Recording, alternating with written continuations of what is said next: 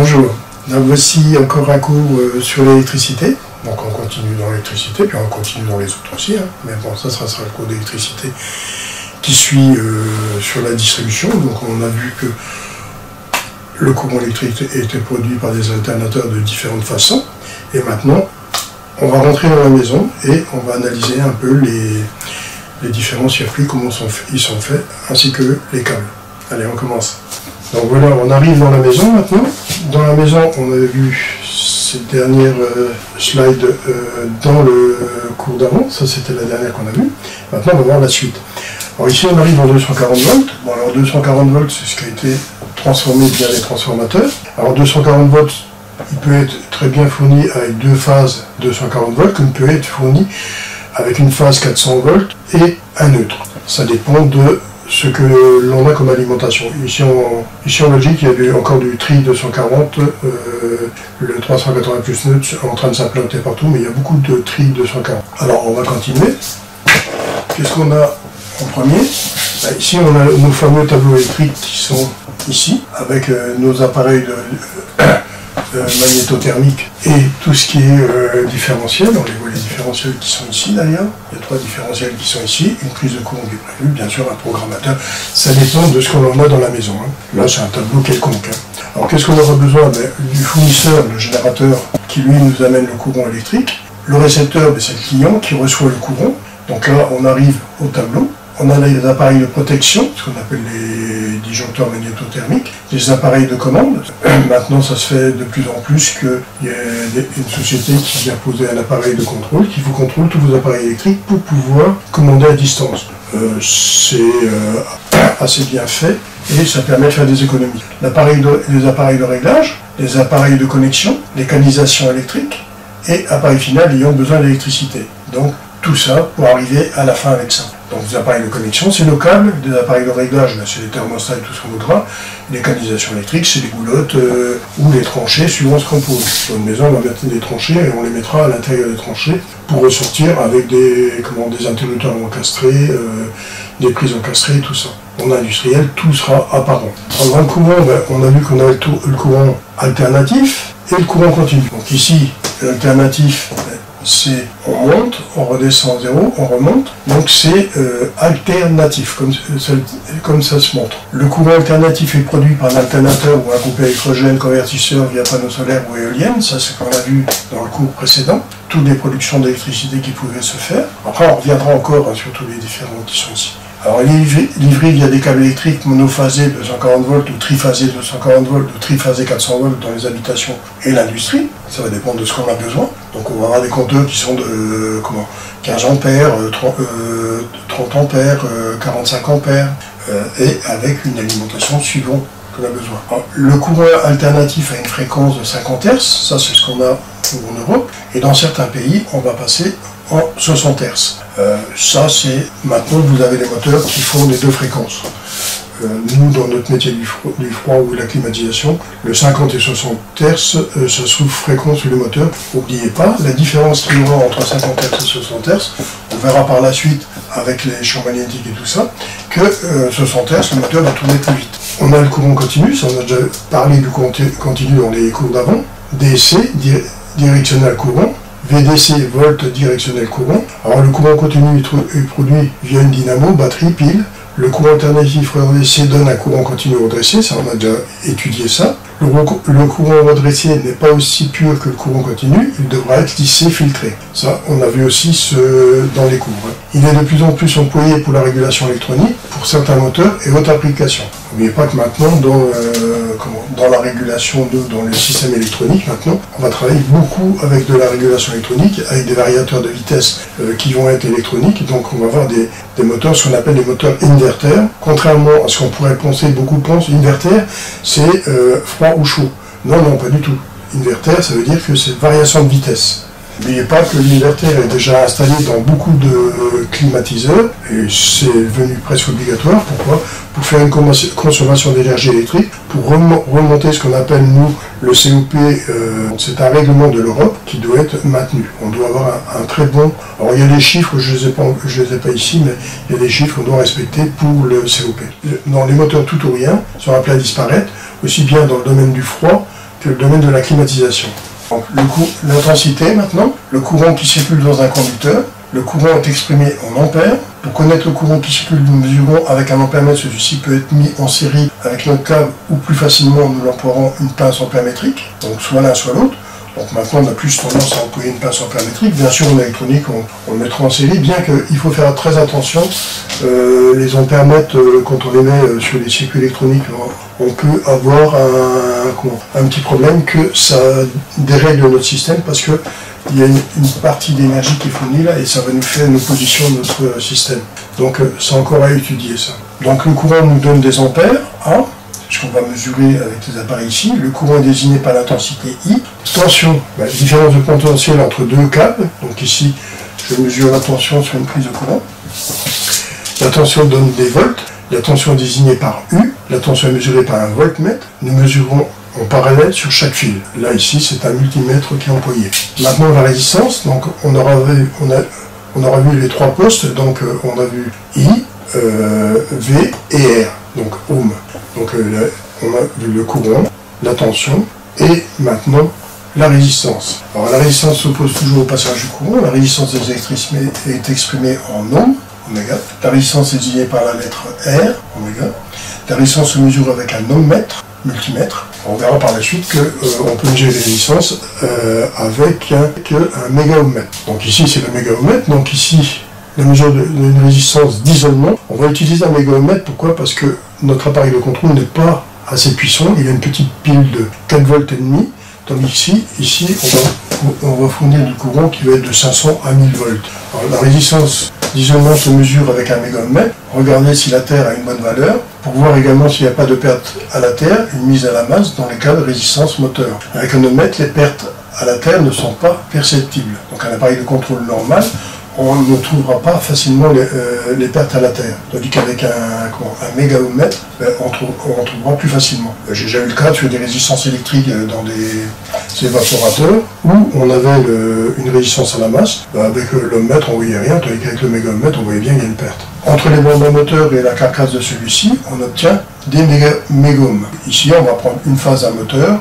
On mesure toujours un moteur ou un appareil débranché faut jamais euh, laisser comment, les câbles branchés. Un moteur, vous avez l'habitude, quand vous mesurez un moteur, il faut le décabler et enlever les barrettes et le mesurer sans les barrettes, sans rien du tout. Autrement, vous aurez des valeurs qui sont complètement fausses. Les corps, les câbles, tout ça, ils peuvent être conducteurs et laisser passer le courant, isolants, ils s'opposent au courant. Semi-conducteurs laissent passer plus ou moins le courant. Donc ça va dépendre de ce que l'on a comme, comme câble. Bon, le conducteur, c'est un câble électrique comme celui-ci. Les isolants, c'est le bois, le plastique, tout ça, ce sont des isolants. Euh, les semi-conducteurs, laisser passer plus ou moins le courant, bah, on va dire par exemple euh, des transistors, des, des, diodes et ainsi de suite, qui laisseront passer plus ou moins le courant. Courant tension-résistance, courant à la charge la plus négative qui va vers la charge plus positive, c'est un mouvement d'électrons à travers un conducteur dans le sens de la charge.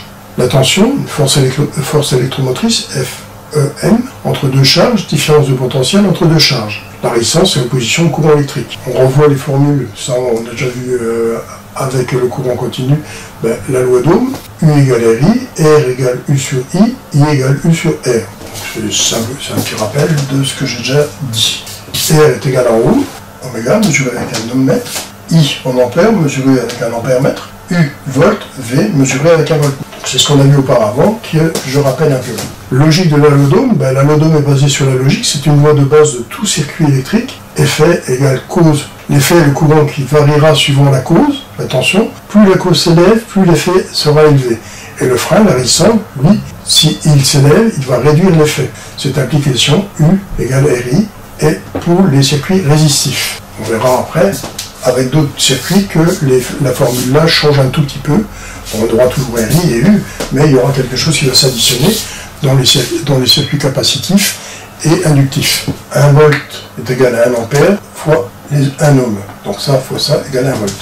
Exemple, une tension de 240 volts qui alimente une résistance de 40 ohms donne un courant de 6 ampères. 240 divisé par la résistance me donne l'intensité. Si la Terre est électriquement neutre par convention, donc conducteur de Terre, son potentiel est zéro. Si une machine y est reliée, son potentiel doit être le plus près possible de celui de la Terre zéro. Le rôle de la mise à la Terre, si nous ne le relions pas à la Terre, et qu'il y a un défaut d'isolement, ne sont pas un potentiel qui n'est pas nul. Donc là, il faut faire très attention. Le cas du contact physique entre individuel et appareil, qui a un défaut d'isolement, il va s'établir un courant. Ce courant peut être proportionnel à la tension et inversement proportionnel à la résistance. Une masse franche avec une tension de 240 volts avec un individu, la densité qui va traverser cet individu et donc résistance ohmique d'un individu de plus ou moins 1000 ohms. Ça va dépendre de euh, l'eau dans le corps et tout. Euh, donc I égale U sur R, 240 divisé par 1000, 0,24 ampères. Ce courant est supérieur au valeur supportable, il y a risque d'électrocution. Appareil non relié à la Terre, ça passe directement par l'homme, c'est une mort fatale.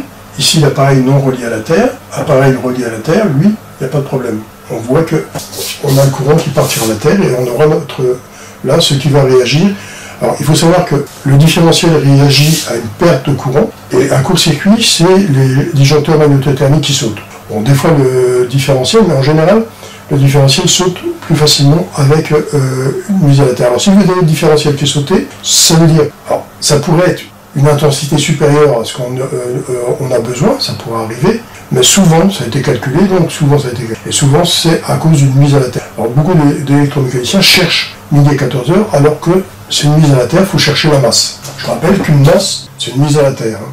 C'est une phase qui va directement à la terre. Appareil raccordé à la terre, si nous relions maintenant la terre avec un câble, une faible résistance de 10 ohms, une masse franche va donc provoquer un courant de fuite important. 240 divisé par 10, ça fait 24 ampères. Il va provoquer un déclenchement du disjoncteur différentiel. Si les fusibles sont correctement calibrés, ils doivent fondre. Grâce au fil de terre, l'appareil est mis hors tension. Donc en général, le, le différentiel va beaucoup plus vite que les fusibles. Vous voyez ici la Terre. On verra après le régime de neutre, c'est un peu plus complexe, je ne l'ai pas mis avec ça ici. Alors, la valeur maximum de la prise de terre dépend de la sensibilité du différentiel. Il convient donc dans tous les cas de respecter l'équation suivante. RI, donc 50 volts. Donc, ici, différentiel sensibilité, pour un 650 mA, résistance de prise de terre 77 ohms. Pour un différentiel de 500 mA, 100 ohms. 300 mA, 166 ohms. 30 mA, 1666 ohms. Donc chaque, appareil devra être relié à la Terre et on mettra des différentiels différents suivant les cycles. Par exemple ici tout ce qui est, euh, on va dire, prise de, les prise de courant, la vaisselle, lave, euh, linge et tout ça, chauffage, circuit d'éclairage, seront sur un 30 mA. Les circuits d'éclairage, chauffe-eau, appareil de cuisson, circuit de chauffage, 30 mA. Et le général, lui, il sera avec un 500 mA. Ça, c'est notre compteur, différentiel 500 et des 30 mA. Alors, il y a des fois des 100 mA qui sont mis pour la cuisine. Ça arrive qu'on ait 100 mA. Mais 30 mA, c'est beaucoup mieux. le moindre petite perte, ça saute. Section du conducteur de terre, ben, bon, le, section du conducteur actif 16 mm. Si on a un câble de 16 mm, ça sera S. Donc ça sera la même dimension, 16 mm. Des câbles de 25 à 35 mm, on, on passera à 16 mm. Au-dessus de 35 mm, les câbles d'alimentation électrique, je rappelle que c'est des câbles d'alimentation électrique. Hein. Et ici, c'est le câble de terre. Limité à 25 mm, cuivre, en schéma TT. on verra après ce que c'est que le schéma TT. Alors, les régimes de neutre, ça, ça, va être le cours qui va suivre après. Le neutre, c'est-à-dire tous les points qui sont pris précisément dans un générateur ou un setup, peut être unis sans troubler un régime équilibré. Différents régimes de neutre. On a les TT, les TN, IT. T pour la terre, N pour le neutre, I pour impédance. Alors les couleurs de, fil électrique, ben, les phases, elles peuvent être rouges, brunes, noires, à rigueur violet, ça dépend. Sauf bleu, vert, le, bleu et le vert et jaune, eux, on ne peut pas les utiliser pour amener l'alimentation, les phases. Par contre, le neutre, il doit être en bleu. Alors, je rappelle que le bleu, c'est pour nous ici en Europe. Euh, dans certains pays, c'est pas euh, la même couleur. Euh, je pense que c'est le gris. J'avais été au Japon et le gris, ça va être le, neutre, d'après ce que je me rappelle. Mais je sais que c'est pas le bleu. C'est sûr et certain. Et vert jaune aussi, ça change. Je crois que c'est jaune complet. Vert jaune, euh, ça, c'est chez nous, c'est vert et jaune, c'est obligatoire. Alors faites attention, quand vous allez dans d'autres pays, c'est pas les mêmes réglementations. C'est important de savoir les réglementations dans chaque pays. Les couleurs de câble, euh, les diamètres des fils, parce que bon, euh, nous, on emploie des fils, par exemple, de 2,5, ils vont employer un fil qui sera de diamètre inférieur pour les mêmes intensités, mais, ou la même puissance, mais l'isolant sera beaucoup plus épais. Donc euh, c'est un peu différent leur façon de travailler, mais nous on est, bien en sécurité. Donc voilà ici cette partie de cours finie. Donc voilà c'est terminé, j'ai fait le cours sur euh, ce qui se trouve à l'intérieur de la maison, les, câbles d'un bâtiment quelconque, hein, euh, avec les sécurités et tout, les couleurs des câbles et tout ça. La prochaine fois on reviendra sur tous les appareils qui sont à l'intérieur. Pour le moment c'est un descriptif de tout ce qu'il y a. Et après on reviendra qu'est-ce que c'est qu'un disjoncteur, à quoi il sert, quels sont les différents, euh, différents euh, disjoncteurs magnétothermiques avec les courbes et tout ça? Donc ça, on verra ça après. C'est pas tout de suite et ça suivra. Voilà, je vous souhaite une bonne fin de journée et à bientôt.